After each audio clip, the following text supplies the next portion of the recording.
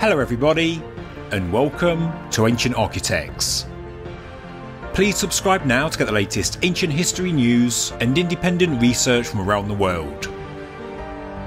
Over the past few years, things have been developing quickly with regards to Turkish archaeology, and one project really stands out Taştepeler, which, as you probably know by now, is an upland area in the southeastern Anatolia region of Turkey, near the city of Şanlıurfa.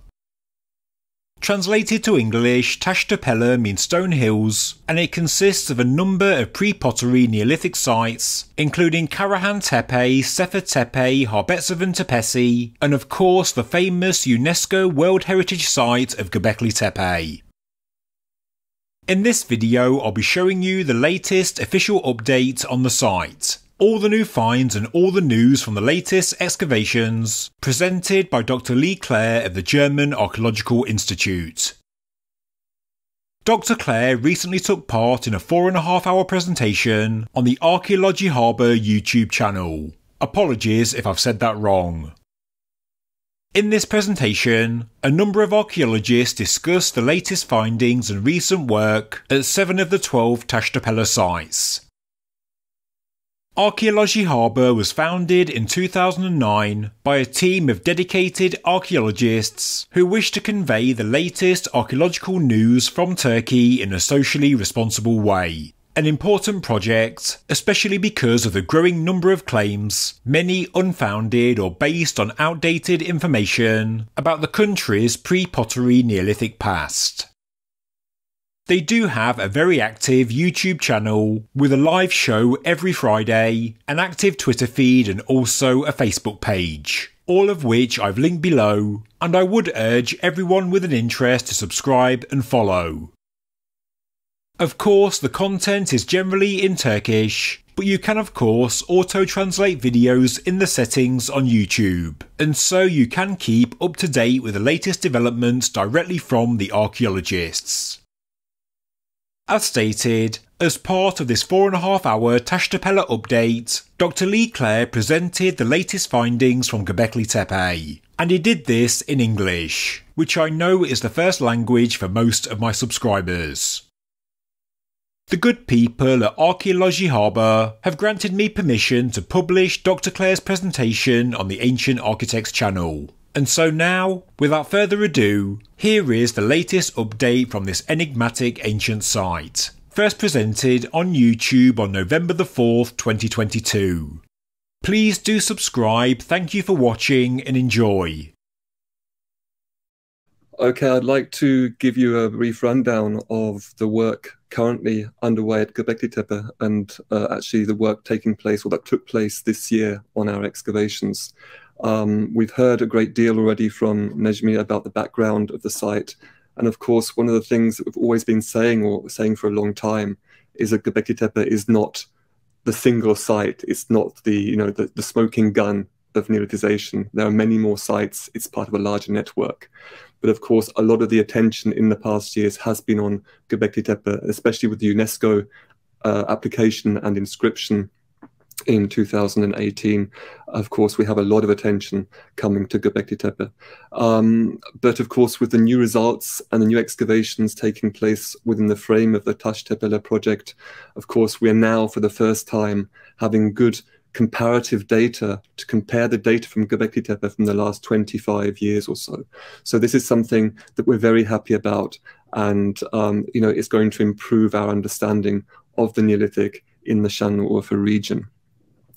Um, I just want to say, first of all, thank you to um, you know the, chance to speak today, and also to obviously work at the site.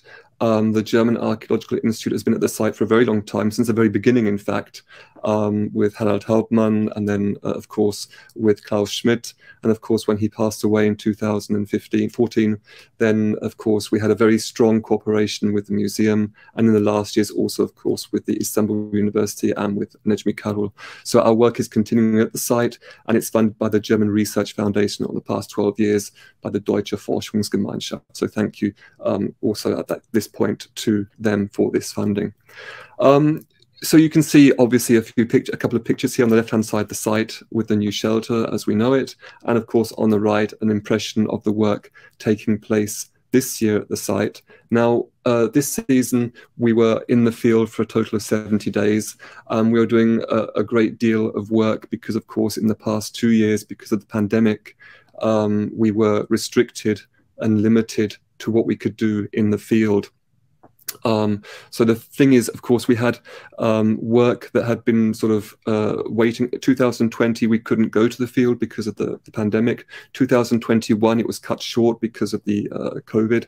And of course, we had a lot of stuff to catch up with. A lot of the uh, experts that wanted to come had to come. And there was also a backlog of material to process. Now, one of the good things about um, the, the, more recent work at the site is the fact that we're looking more closely at the botanical remains. Because, of course, for a long time, it was thought that the botanics were not well preserved. But in the past years or so, we've been doing a lot of um, wet sieving, and you can see here uh, on this left-hand photo, the, the flotation machine that we now have, have in operation, so actually flotating um, a lot of the material, the excavated sediments from the excavations, and we're having a lot of samples come out. So we're hoping on some very new results from that area, the botanics, in the next um, uh, years um, when, when that's been studied. Um, so you have to imagine, of course, that we are now a UNESCO site. So we have a lot of things to think about. Okay, we can't just go in there and excavate. We have to make sure that everything, and this is, applies to all sites, but especially for Göbekli Tepe, that we have this very strong uh, link between conservation, presentation, and our academic questions, because of course this is very important that all three uh, play a role in our work. Um, what we were doing this year in the field, we were doing, of course, some minor excavations and some trench cleaning. We were doing sieving and flotation, as I mentioned, fine processing, fine recording, and building archaeology. So a great deal of things were going on. We had uh, a good team uh, with us this year, which included um, uh, of course, members from the from the German Archaeological Institute, both from the Istanbul and Orient departments, students from the Harran University and from other universities as well, Uh, a small number of other specialists, and of course the workmen from Örencik village, who we shouldn't forget here at this point. Now, as I said, we like to combine our work at the site preservation, conservation, and our academic questions. And you may be aware, or those of you that have visited the site in recent years, that the northern part of the site, north of the special buildings, you can see the blue areas here on the map, they have been somewhat left um, uh, for a while and haven't been properly cared for. And we have a very deep or very uh, high profile or high section in this area, um, which has been subject to modern erosion. And this needed to be uh, preserved, presented, um, and, and, conserved. And this has been the area we've, we've been working in for the past couple of years. So you can see the state of, of this area in 2021 before fieldwork started, so last year. And then at the end of last year, we had went down, we cleared this area, and we found numerous domestic buildings in this area. Um, I think you know this is also an important insight from the past years is that we're now moving away, obviously, from the previous interpretation of the site as a purely ritual or a purely cult site to one of a settlement with special buildings. And I've spoken about that on, on various occasions. Um, and of course, this was a state at the end of 2021. And of course, this work also helped to remove any danger of further erosion of uh, of, of the, the, profile, the section slipping down into the main excavation area where the special buildings are, the building D, the, the so-called temples where they are. So this is very important. This year we did the documentation um, of these buildings that we discovered in 2021 using SFM, so Structure for Motion documentation. You can see here these wonderful rectangular buildings. I mean, these are uh, most likely or certainly uh, of PPNB or early PPNB date. So we're looking at 8,700. So the first half of the ninth millennium to the middle of the ninth millennium BC. You can see this conglomerate, conglomeration of, of rooms that have been um, sort of built onto one another. Um, and this also on a slope. So we're looking at slope architecture, which is a very uh, important feature of, um, of the site. And these excavations continued this year. And as I said, the domestic sort of features of this site are now becoming more and more apparent. Um, so in previous years, in the course of the preparation for the construction of the new permanent shelters um, at Göbekli Tepe, there were deep soundings which actually led us to discover in the very lowermost levels domestic architecture houses um, were at the site from actually the very beginning of the settlement um, or the occupation of Göbekli Tepe. And here we have one of these buildings on that I just showed you um, following further excavation. And you can see here, um, of course, an in situ um, vessel, limestone vessel. We have here uh, sort of a bench coming in. And the most impressive thing is that these walls, the buildings, are preserved in places up to two and a half meters in height. So this is a very well preserved architecture. And as we're now seeing more sort of evidence for domestic activity with the uh, basalt uh, grinding stones actually coming out in the surface, um, the floor surface, the plaster floor, um, and also uh, what we think is also in roof claps. So we're now thinking that the buildings, obviously these, these PPNB buildings were houses with activities going on on the roof or on a first floor um, where people were actually undertaking these activities. So very good domestic uh, signal. And of course, the lithics, the, the, the flint tools that we're discovering are also telling us, yes, this these assemblages are very typical of domestic sites. So um, this is really the focus of our work at present to actually understand the domestic um, occupation of. We, we're of course still looking at the the ritual functions and the and the big special buildings, but it's really nice that in the past few years we've been able to concentrate on the areas that were less uh, were given less attention in, in previous years. So this domestic side of things. And uh, you can see here um, this same building um, as a structure for motion. So it's all being documented um, with state-of-the-art equipment, structure for motion. It's being measured, GPS. It's being uh, you know scanned. It's being uh, really um, well documented. And uh, one of the special features of one of the buildings here, you just saw it in the previous uh, slide here, uh, in the corner of, of the building next to the bench um, and here as well. But here is a close-up. What we have here is um, a feature uh, in the plaster floor which appears to actually be some sort of hearth or fire um, uh, place. Um, and of course, this was the evidence that Klaus Schmidt was missing when he was excavating at the site. He never or said he never really found evidence for the domestic or ovens, this sort of thing going on at Göbekli Tepe, but we have this evidence coming in now. And this year was a very good year uh, where we found this feature in space 61. Um, we have also more or less uh, been able to identify sort of a type of structure, a type of PPNB building. So again, we're talking about the mid ninth millennium uh, BC, so the first half of the ninth millennium BC. You can see that they're characteristically sort of trapezoid or rectangular in shape. Sometimes they have a niche built into one of the corners.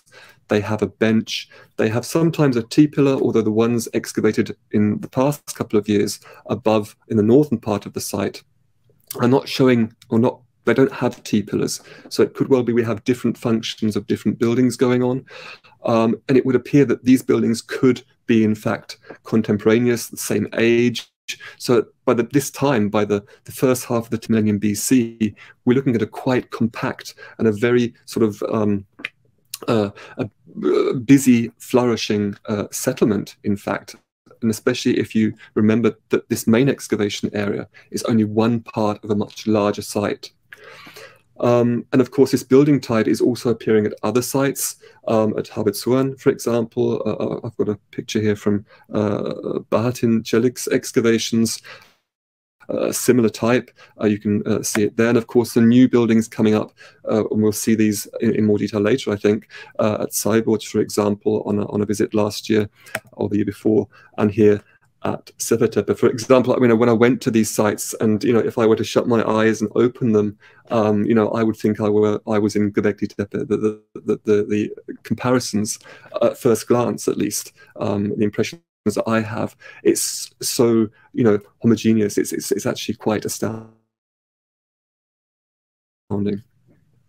Um, anyway, as I was saying, we also uh, are doing some work, or the work we're doing is a mixture of conservation, presentation, and excavation. And of course, there are a lot of these these bulks between the different trenches that are still actually haven't been excavated, and these make for quite ugly sort of uh, uh, like a disturbance in in the picture of the site. So we are now actually excavating or removing these old sort of um, uh, bulks, um, these these uh, these these um, what do you call them, uh, sort of tracks that were used previously for the wheelbarrows, um, uh, for the El and we're actually moving, uh, we're excavating those, and they've actually led to new discoveries, in fact. Um, here, in this particular bulk, um, stratigraphically above the early PPNB buildings, we have a later structure. Now, this appears to be, we don't actually know exactly how old this structure is, but it's certainly younger than early PPNB. It could be middle PPNB or perhaps even late PPNB. Um, but you can see here they're returned to this sort of round shape with a plaster floor and these upright limestone slabs. I mean, this example here would have been, you know, a couple of meters in diameter. So very interesting structures. And we have evidence for remains of these spotted or dotted around uh, the site at Göbekli Tepe. So um, we're actually increasing our, our um, sort of the, the, the time span that we knew Göbekli Tepe was in use. We're still waiting for some radiocarbon data from, from these structures, um, but we have sort of ideas from the lithic assemblages that there are some elements within that that could actually be later than early PPNB, perhaps middle PPNB, even pushing into late PPNB. So it's a very interesting thing that's fitting in with the lithics that we have at the moment. So we're very happy uh, you know, that this work, in fact, that's so important for the presentation of the site, for the site management, um, and is just delivering also these academic insights that's so important for our understanding of the history of the site. Of course, you know, the fieldwork um, uh, is not always easy, especially with all the visitors around, and sometimes we have to excavate beneath the shelter, which is also quite cramped, but it's all going uh, very well. What I wanted to also point out, you know, mentioning the domestic, uh, you know, not just the houses, quite characteristic or important for domestic activity is, of course, the remains or human remains, uh, burials. And you may um, oh, just before we go there, this is building G, which we also, um, you can see it on here on the left-hand side, just above the arrow. Building G is also um, a ritual building, a communal building, uh, very comparable probably to the um, cult building found at Nevalı Çori from the type. Um, this is partially excavated and we did some cleaning work here and actually extended uh, the trench backwards and into the bulk and actually found the southern wall of this building this year. Now, going to the burials, because of course this is very important for the domestic sort of uh, interpretation of the site, because as you probably know, most of you, you know that it was quite characteristic for the people to actually bury their dead uh, beneath uh, the floors of the houses or close to the domestic um, structures, to their dwellings. Um, this burial actually uh, was discovered uh, in 2017 when we were excavating for the construction of the GT1 or the new sort of shelter over the main excavation area. You can see here the, the, the kidney-shaped pit with the remains of three individuals uh, disturbed in the prehistoric past, but the three individuals were still there in this burial we had uh, three individuals, let's say one female or two females, one male or female, wasn't quite sure, uh, of 11 to 14, 35, and 20 to 30 years of age. And as I say, the, the bones have been sort of disturbed and placed to the side of the pit. There were no grave offerings, uh, only a, a, couple of, of large lithic or flint blades. Some of the bones were also found still in uh, in their uh, in anatomical um, uh, position. This year, we returned to a burial that actually was discovered by Klaus Schmidt uh, back in 2012, but was not excavated at the time. This is also a, a subfloor burial located to the west of Building A. Um, at the time, I say it wasn't uh, excavated; it was it was covered and left. And because we had our anthropology expert at the site this year, we thought it would be a good idea to actually recover this burial, which we did. And you can see here the remains oh, this is actually pictures from 2012, and we have then the, the burial uh, recorded and excavated this year. It's of one individual, 13 to 14 years of age, uh, northwest, west, southeast oriented, the head in the northwest, probably subfloor, but the floor was very poorly preserved in this building, and the individual had been buried in hocker position. So it's um, another good indication that we're dealing with a domestic site and not purely a ritual site, I think. Um, we also did some excavations in uh, Building D, so the, the, best preserved, you could say, of the special buildings at the site.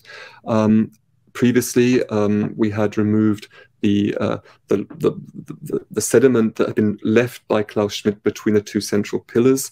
Um, um, and then this year, and after that work, new features were actually discovered in the floor of the building. And now you can see here on the right hand side another structure for motion. You can see the, the pedestal or the podest where the um, central pillar or the left hand westernmost central pillar of this building was uh, would extend. It's not actually in this uh, diagram. And just in front of it, there's a small pit, um, which we thought could, in fact, be a further burial, uh, it being a ritual building, a communal building. And this we wanted to check, which we did. Um, you can see it here from the vertical we excavated this, we removed the slab, and actually we didn't find any burial at all. Um, but in fact, it appears what was happening here, that people were actually repairing the, the, the plateau in this position to make it very smooth and repair the floor of the building um, to make it, uh, you know, less unattractive or more attractive. Um, so this was an important insight that we had from this year's uh, excavations.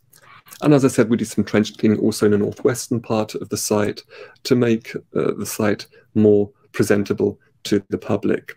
And here you can see um, the before and after in that area. Um, now, of course, with Göbekli Tepe, the, the site has been under excavation for a very long time. You know, I say very long time, over two decades, two and a half decades. So we have a lot of old data um, from the site. You know, in the course of time, technologies improve. It's also important for us to keep up to date with the state of the art methodologies at the DAI.